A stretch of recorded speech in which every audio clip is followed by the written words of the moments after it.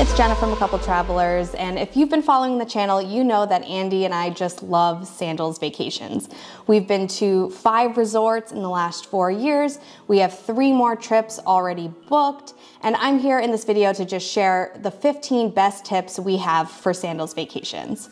And I've actually divided the tips up into specific categories. So it's tips that you should know before you book your vacation, tips to help you after you book as you are planning for your vacation, and then finally tips to help you while you are on site to make the most of your vacation. So let's dive in with a couple of tips to help you before you book your trip. Tip number one is to know the room categories and what they mean.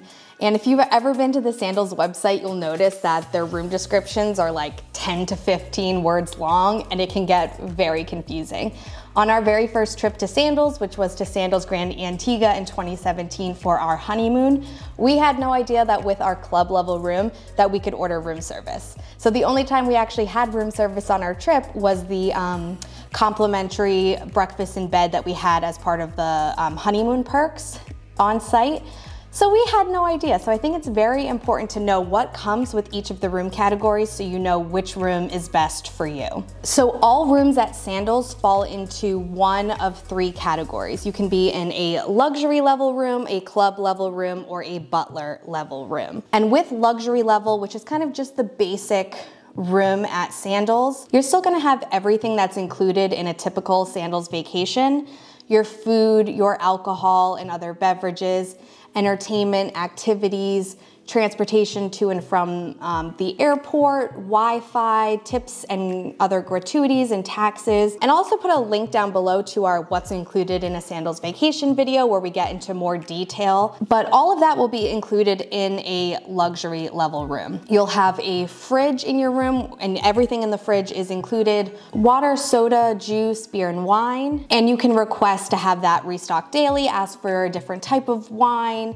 etc. But that is kind of everything that's included in the luxury level room category. Then in club level rooms, you have everything that's included in a luxury level room, Plus you have room service from 7 a.m. to 10 p.m. and you have a special room service menu in your room that you can order from.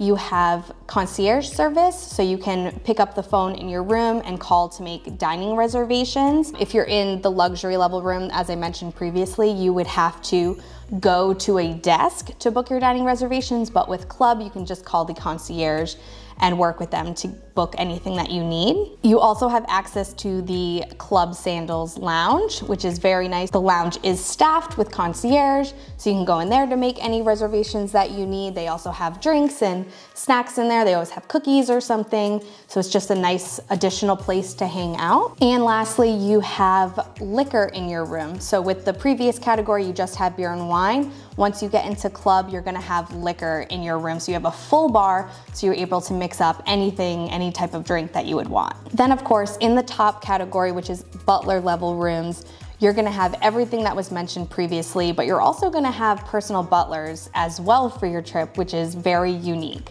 So you're even given a cell phone when you arrive at the resort so you can contact your butlers anytime you need something.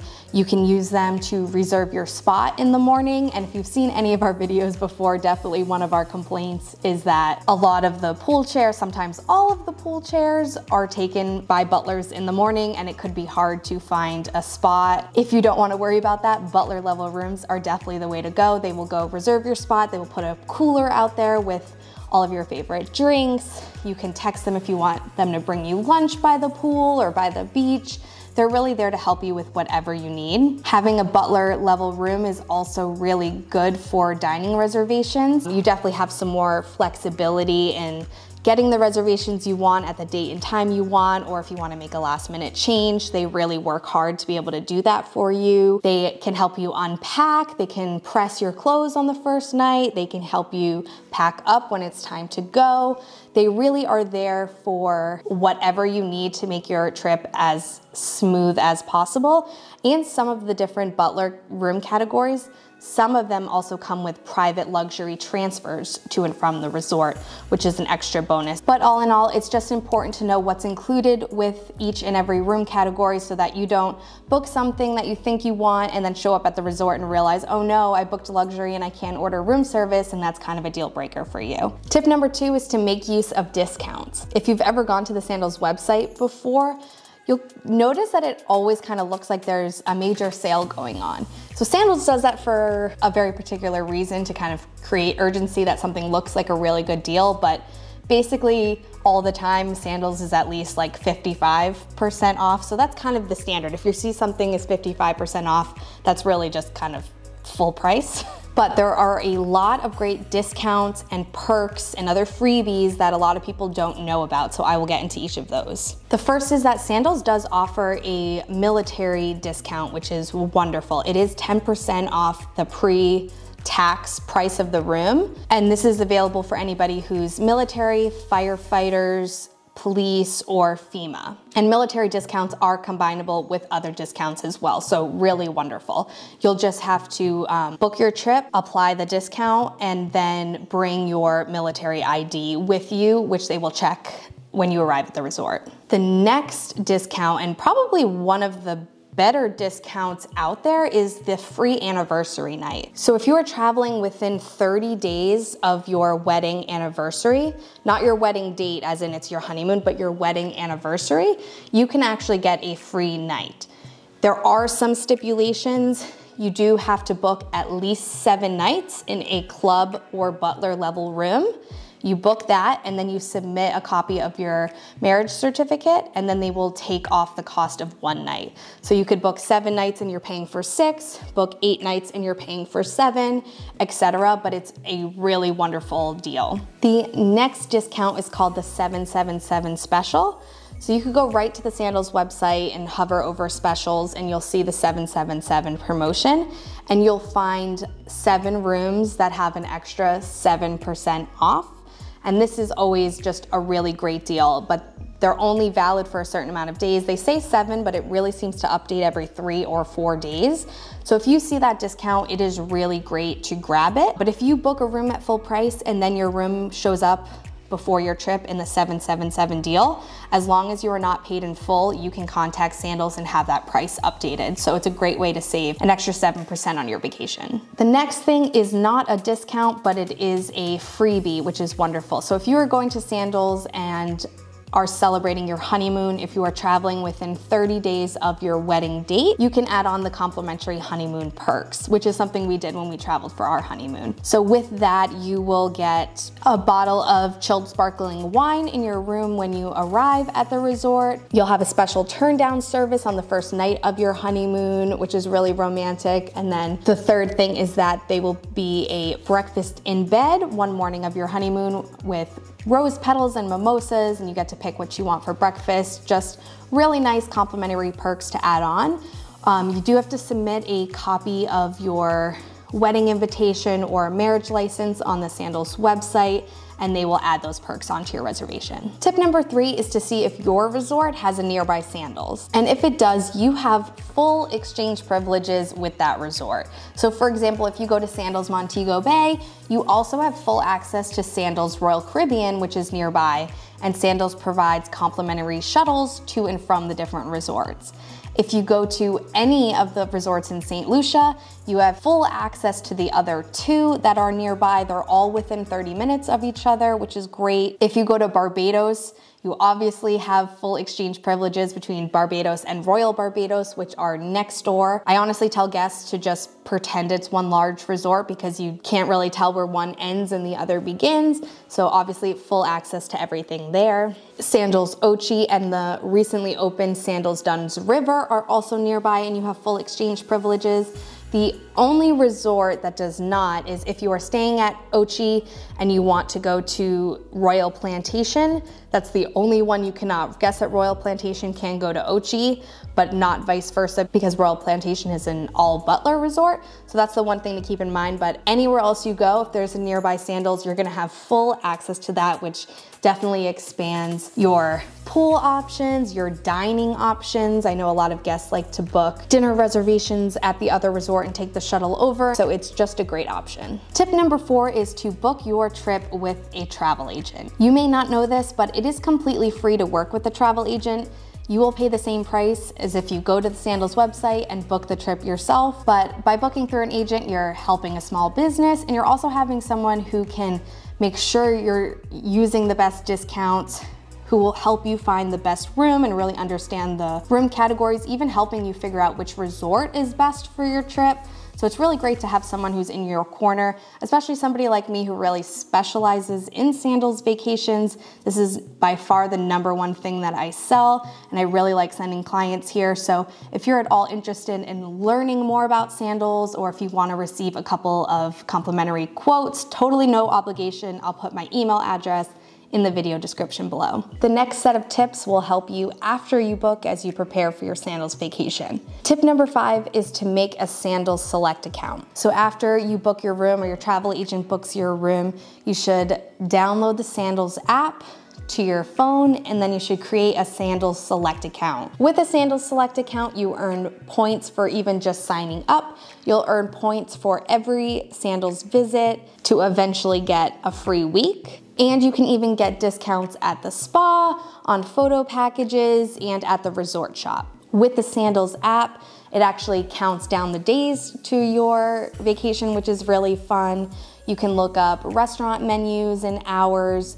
You can look at the spa offerings and book spa appointments. You can look at and book excursions, see activities offered at the resort. It's really a hub for all the information that you need for your vacation, which is great. The app really is a great tool and you'll use it a lot before and during your vacation. Tip number six is to book excursions and other extras in advance. Now you may not want to book things until you are on site, but I will say that a lot of things, especially the ones really worth doing, can certainly sell out. So I always tell my guests if they really have their heart set on something to just book it as soon as possible. You can always cancel up until a certain amount of days before the activity and get a full refund, so there really is no risk especially if it's something like, oh, our anniversary is on the 20th and we really wanna do a candlelight dinner. Things do sell out, so private candlelight dinners on the beach, excursions, spa appointments, even photo sessions. Go ahead and get those booked.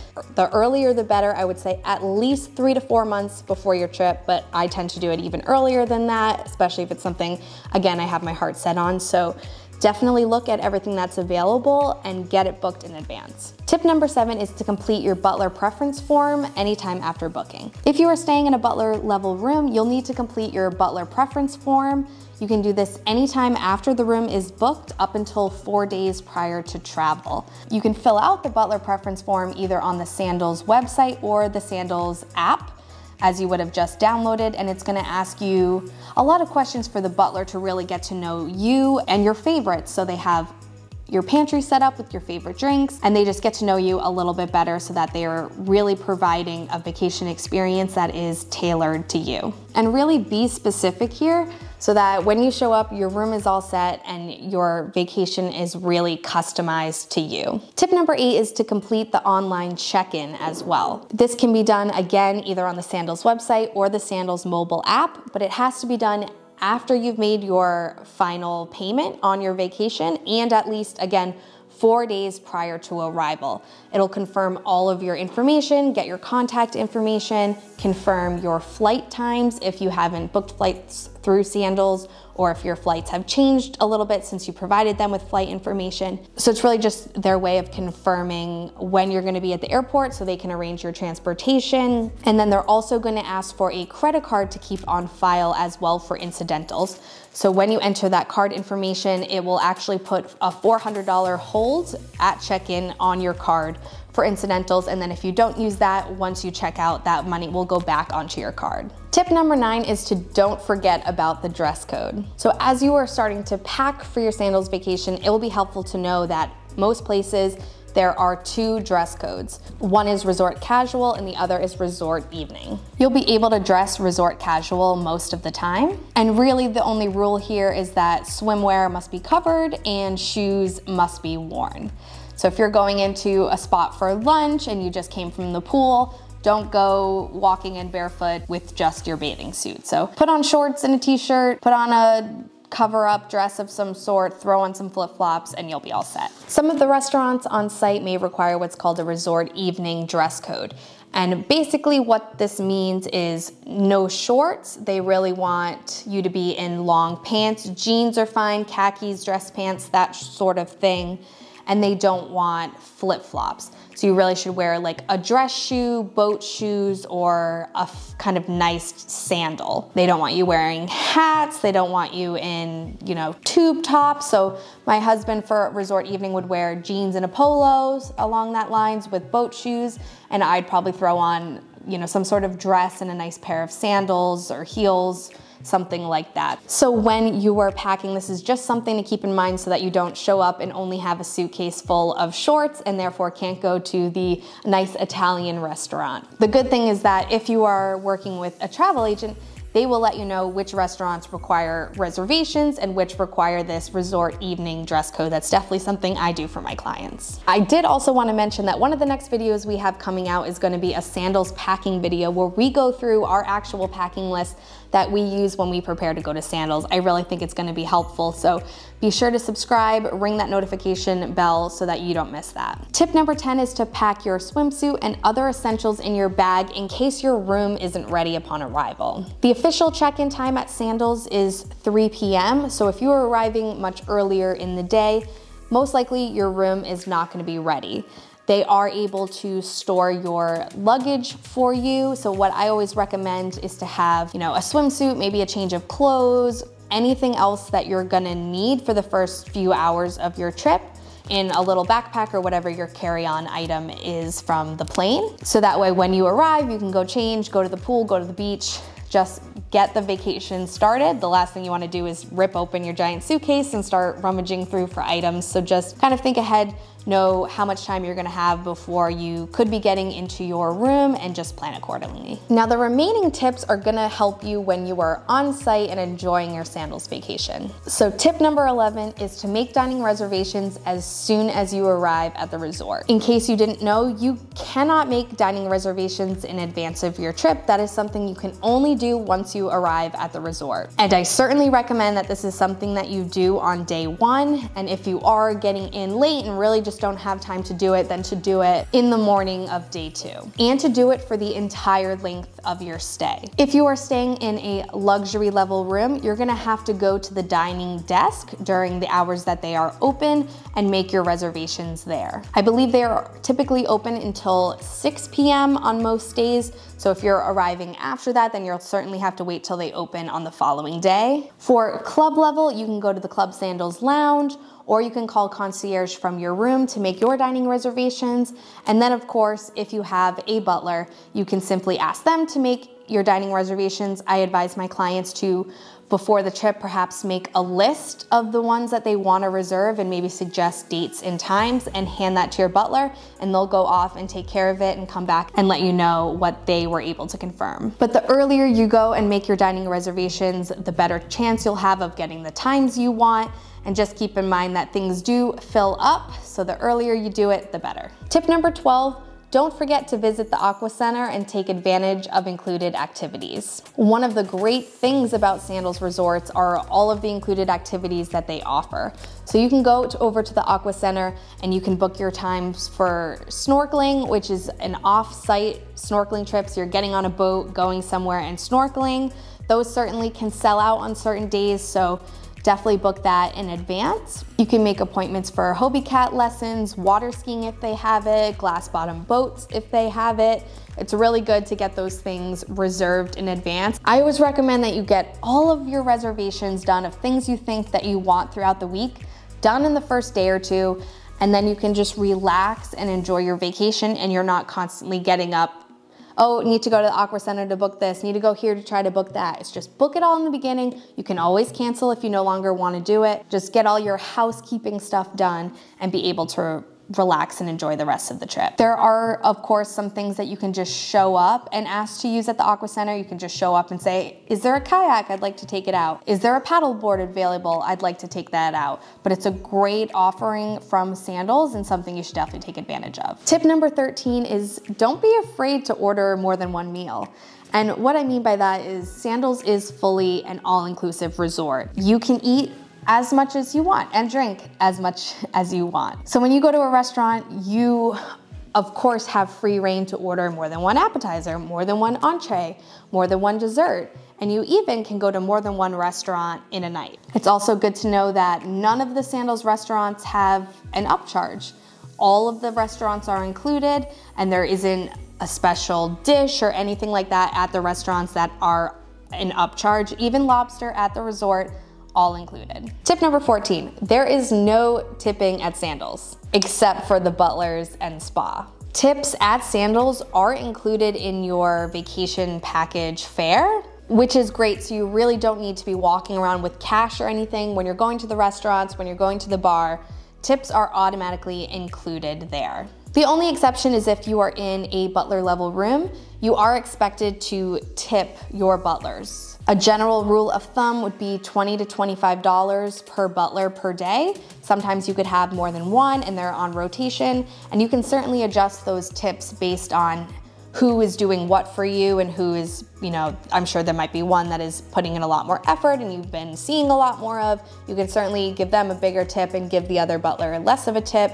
It's really what you feel comfortable with, but you should come prepared to tip your butlers. I like to recommend to my clients that they bring some envelopes and cash and a variety of bills and at the end of every day or end of every butler shift, they can write their name on the envelope with cash and either leave it in the pantry if they're not able to give it to them directly and they'll someone will get the money over to them. The other exception is if you are going to the spa, you really should be tipping your spa technician who is doing your massage your facial or whatever it may be.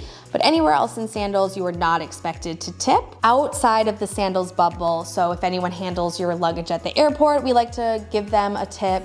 If we're going on any excursions off-site through island routes, we like to tip them as well. So it's just something to keep in mind. And last but not least, tip number 15 is to book a return stay while you're on site. If you book your next vacation while you are on a vacation, you actually could save an extra 10 to 12% on the current promotion based on what room category you are. I believe it is 10% off a luxury level room, 11% off club, and 12% off a butler level room. This is a fantastic deal. Again, can be combined with a military discount. And as long as you don't pay the booking in full, you can transfer it over to your travel agent if they were the one who booked the first trip that you are on, which is really great.